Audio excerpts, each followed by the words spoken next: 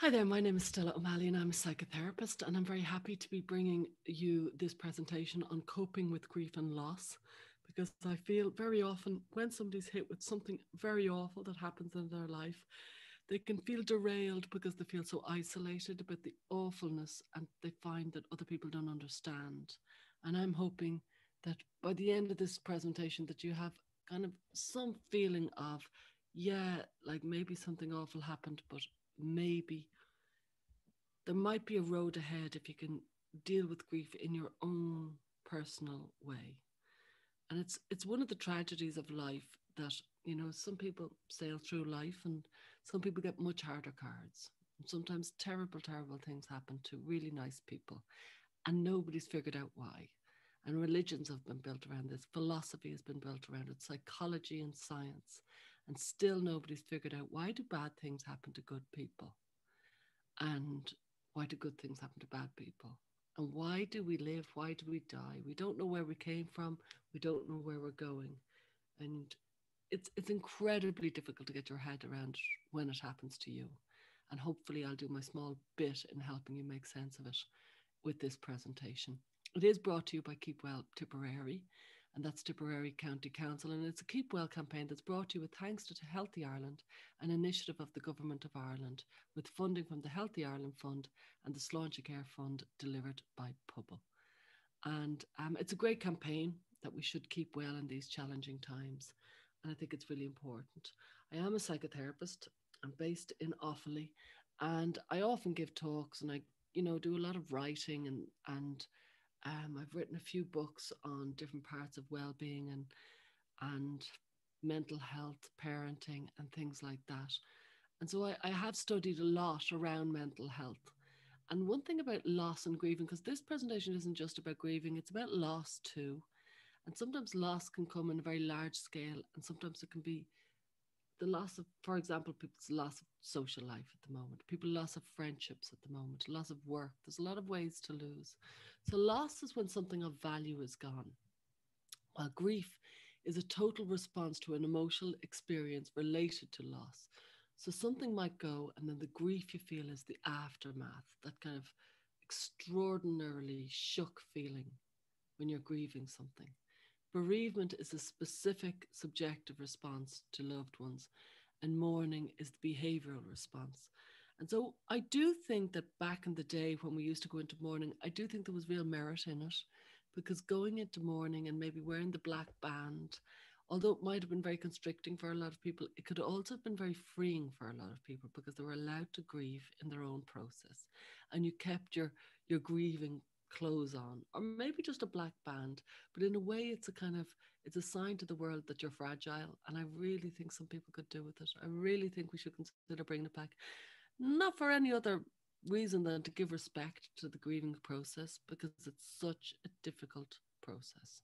And if you're going through it if there's loss or there's grief in your life give yourself some space to work through this very special very difficult time so that you can come out of it. And you know, you'll be different, you'll be changed, but that you do have space to live on. A lot of people, when they've gone through a very large loss or grief, they don't find a reason to move on or to live. What is the point? So they go through the motions. And if if you can tap into a reason for living, sometimes it's in in in memory and in in deference to the life of the person who's gone. So grief is a very natural response to loss. The loss can be death of a relationship, loss of a relationship, job, health, the loss of your health, big one, loss of money, a miscarriage, pet, lost dreams, lost hopes, lost ambitions, ambitions, serious illness, a loss of a friendship, or safety after a tragedy. And of course, the biggest one, the loss or the grief of a, a loved one who has died. And the, these are such big events that the world, it can be shocking that the world keeps turning. And you know that poem, Stop All the Clocks? It's such a good evocation of why you we feel so shocked that the world, the cars still roll around, the sun still rises, people still get up and go ahead with their life when you are literally have been stunned by a blow. And grief is the emotions and pain we feel when someone or, or something we loved is taken away. And we grieve, grieve in different ways. And how you grieve depends on your personality. For some people, it's a coping style. For some people, it's a life experience. For some people, it's their faith. And for some people, the nature of the loss. It depends how you grieve. So, one person might have had their husband, for example, taken away from them from a car accident, a shock car accident that came from another. Another person might have their husband taken away from them from a, after 17 year debilitating illness. Very different types of grief are going to enact at that place very different experience, very different emotions to work with. The person who's had the very long illness might have a huge amount of distress and a huge amount of lost lives, a huge amount of, of, of distress about how it all panned out and how difficult it all was and how, how difficult an awful lot of people were in dealing with the sickness. While somebody with the car accident, the shock of it, they could feel very anxious. They could feel they can't trust anything. They could feel anything could happen completely different reactions because they're such different events. So there's no comparing your grief or loss with somebody else's. We do know it takes time and it can't be forced and it can't be hurried. And while you can get support with counseling and therapy, it won't be support for you to be happy. It'll be support for you to make sense of it so that you can continue on in your way in the grieving process. So the, the removal or, or absence of an important object from an individual's life. It's a state of being without something one has had. And loss can be actual or potential. Sometimes it's the potential loss of your job that can keep people up at night. And sometimes they can lose their job and you think potential loss of the house. And they keep on going into the potential loss rather than the actual loss. And in a way, it's like a delay of grieving. I don't want to delay the, I don't want to grieve the loss of my job. So I'm going to jump ahead worry about the future worries because I can't really face the sadness of today's worry. The more individuals have invested emotionally in a purpose, in a person, object, or aspect of self, the more threatened they are likely to feel as they anticipate that loss. If you're very enmeshed with something and then you lose it, it could be your job, it could be your friendship, a relationship, then you you kind of lose yourself when you lose it. So a couple that are incredibly enmeshed together will find it much more difficult to move on without each other than a couple who've perhaps got more separate lives. The thing about grief is it's filled with strange feelings. The strange feelings of grief are actually a sane response to grief. The following examples are all symptoms of normal grief. Distorted thinking patterns where you're just kind of it feels like you've gone a bit mad because there's there's no coherence to your thinking crazy irrational thoughts fearful thoughts feelings of despair and hopelessness out of control feelings feeling completely numb feeling happy feeling released feel, feeling liberated. So many strange responses to grief. There's no telling how you're going to respond. And so i urge you to give yourself a break and let yourself be whoever you are in your grief so here's a few more examples of different responses people, catalogue documented responses people have had to grief and loss. You feel distracted as though you can't focus on anything or, or other than your loss or grief. You feel you have to conserve your energy to deal with the emotion and the stress. You feel as though things you once enjoyed now feel meaningless or unimportant. You feel you disengage from activities because they remind you of your loved one. You feel anxious about seeing people or any social interaction. You can't face it. You feel anxious about running into grief triggers. You don't want to walk down that road because you used to go to that cafe.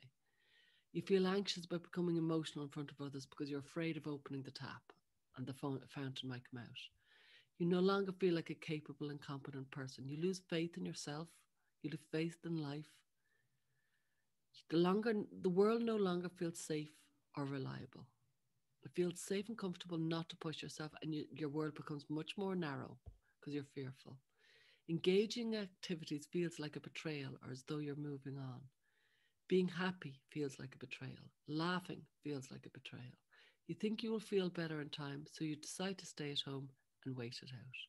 Be careful of the narrowing of your life. While it's very important that you do it as you attend to yourself and you go into that private very private space for grief, do become conscious, if at all possible, that if you keep narrow and keep in a very safe place, your life will become very monotonous. And I don't know how much longer, you know, it depends on the person. One person might be a year, another person might be five years. You could feel very depressed about the narrowness of your life. And so you do have to be aware of how narrow you might have become or how constricted you've become. Is Elizabeth Kubler Ross did a brilliant kind of concept around grief, and she called it the five stages of grief. And so the five stages can come at you in any different sequence. For example, you might start with denial. You first hear of the loss of the grief. Maybe it's the loss of a relationship and you're thinking that didn't happen. No way, he'll be back to me. So you might avoid things. You might feel confused. You might feel delighted. And then, because you're in shock, you might feel fearful. Same with death. You might just say, no, no, that's not true. And then you can move into anger and frustration and irritation and pure anger and you might look for somebody to blame and become very, very angry about the sequence of events that led up to the loss or the separation or the grief or the death. After the anger, and that can be a very strong period and it can last years, where you're just motivated to get people because somebody has done you wrong and has wrecked your life. You can move into depression where you feel completely overwhelmed, helpless, the you know the fight has gone in and you and you're defeated and you're down. Then you can move the the fourth stage is bargaining.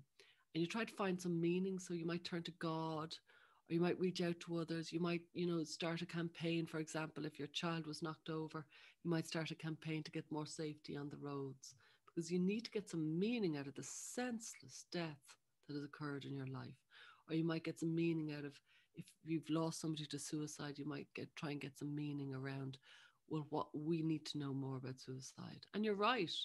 Very often we can improve things, but it's very much a stage of your grieving process, and it's a, it's a good stage. You know, they're all good stages because you need to go through them.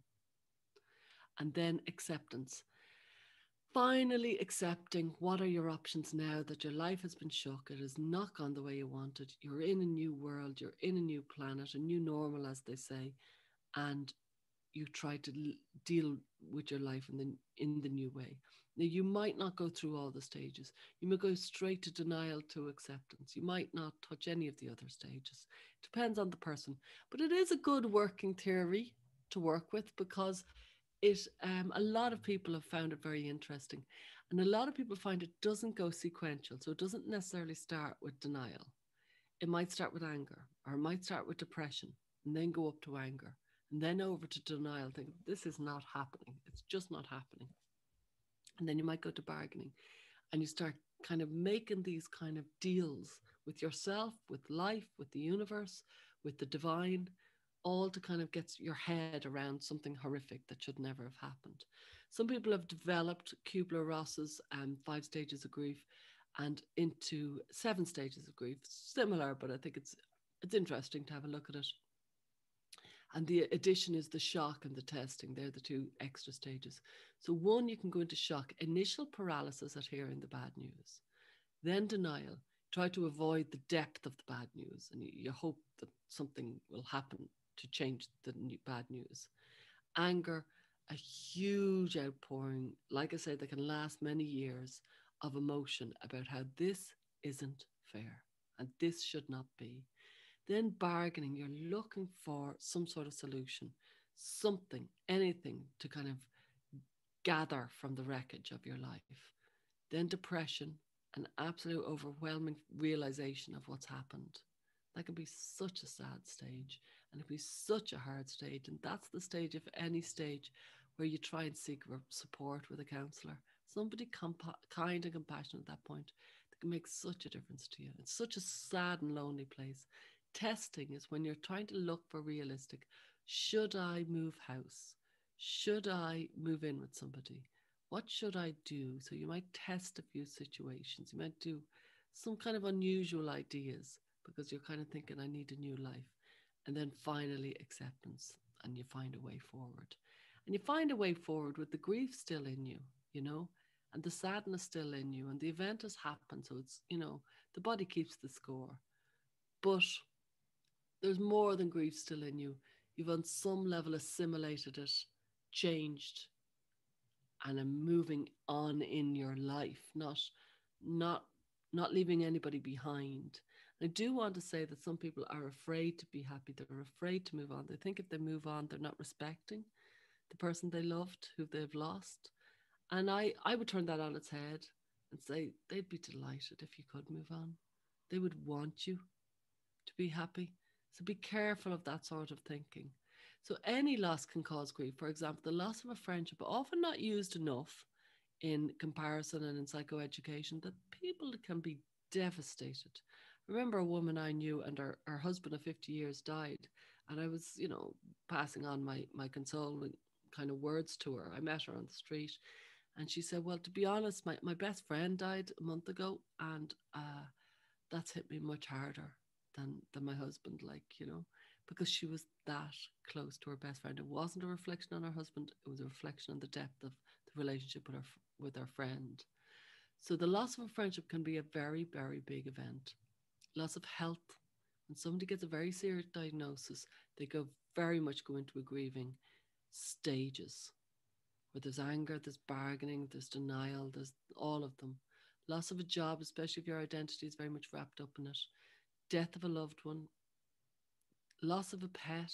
Remember when I was a child, me and my uh, me and my brother were kind of hard chaws, and my dad had written into the Evening Press his dog died, and the the Evening Press is a paper in Dublin in the eighties and longer, but um, we used to get the evening press.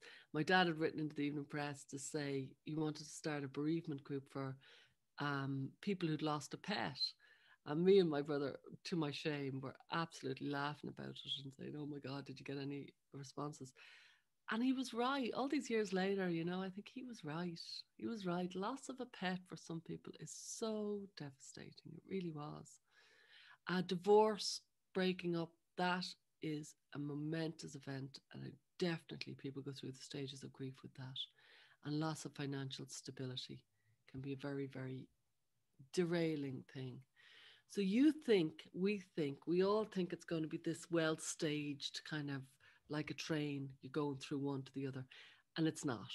You go from ba- anger back to denial, and then you go forward to bargaining, and then you might go back to anger and then over to depression. And then you might go into a place of acceptance and you might go back to anger. Depends on you. You will be all different stages at different times. And yeah give yourself the freedom to do it your own way. You know there is there's no true way to do it. The just the most important thing that you could do is to do it your own way do kind of privately use a lot of self-compassion because if anything will get you through, it'll be self compassion. And be aware that anger, anger at the person who's gone, anger at the life you didn't have, anger at the authorities that you feel did you wrong, anger is really much very often a, a big part of grief and it needs to be acknowledged, really. As Elizabeth Kubler Ross, who is the woman who developed the, the original five stages of grief, she said, and I love these words the reality is that you will grieve forever. You will not get over the loss of a loved one. You will learn to live with it. You will heal and you will rebuild yourself around the loss you have suffered. You will be whole again, but you will never be the same. Nor should you be the same, nor would you want to. So you let it kind of assimilate into you and it's part of you forever. The, the poet uh, Philip Larkin had that lovely line What will survive of us is love. And your love for that person that you've lost, that will survive within you and within other people. And that's what survives of any of us. So, so the more you can be conscious of that, maybe the better. As Rose Kennedy says there, it has been said that time heals all wounds. I do not agree. The wounds remain. In time, the mind, protecting its sanity, covers them with scar tissue, and the pain lessens, but it is never gone.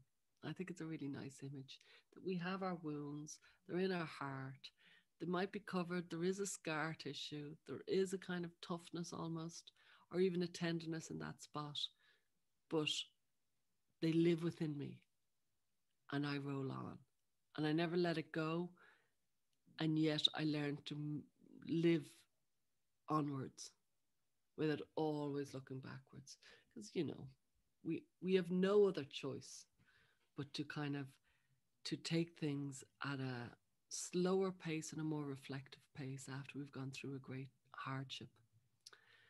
So there's a nice, there's a nice kind of quote here: the real rules of life after loss. If somebody makes you laugh, you spend time with them. If somebody makes your heart beat a little faster, you let them. If your friends don't understand you, you let them go. If you want to date, you date. If you don't want to date, you don't date. If people tell you time heals all wounds, don't listen to them. And if someone is telling you how to live your life, remember your life after loss is nobody's business but your own. And I say that, you know, with the, you know, the well awareness that I, I'm sitting here saying it. I'm hopefully not telling you how to live after loss. I'm hopefully reminding people that there's a way of coping after grief and loss, and it's your way. And you find your road. And it can be a very sad lo- load, and there can be very little meaning attached to it. And sometimes there's lots of meaning attached to it, but it's yours to kind of assimilate into your life. And in many ways, I think it's so tragically unfair that some people have such hard times all you can do is these are the cards I got. And now I have to play with them. And I've just got this life. And no matter how awful the events of your life have unfolded, you can still capture some beauty in a day. You can still look at the sunset. You can still put new sheets on your bed. You can still do little things to make your life that little bit nicer. And so it doesn't matter when we see the depths of awfulness humanity has gone through, like the Holocaust and terrible famine and war. And people have gone on and they've still managed to capture some joy in their life. And that's, I would say, I would urge anybody who's gone through terrible distress to consider how they could capture any distress. As Cathy Lamb says, but grief is a walk alone. The solitary nature of grief is often understated. Others can be there and listen, but you will walk alone down your own path, at your own pace, with your sheared off pain, your raw wounds, your denial, your anger and bitter loss. You'll come to your own peace, hopefully, but it will be on your own, in your own time. Don't let it hurry. Don't let yourself be hurried. Don't let anybody else hurry you. Try to find your own space. And sometimes you might find yourself stuck and you might reach out for help. And sometimes you might think, I need to be stuck right now. I, I haven't got it in me to develop any further. So I hope you benefited from this talk. It's something that matters a lot to me that there's people outside in the world right now in deep grief, in deep loss, trying to make sense of a terrible place that they should never have been.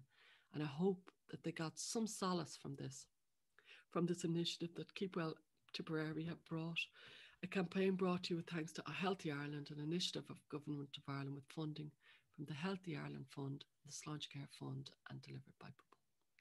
Thank you very much.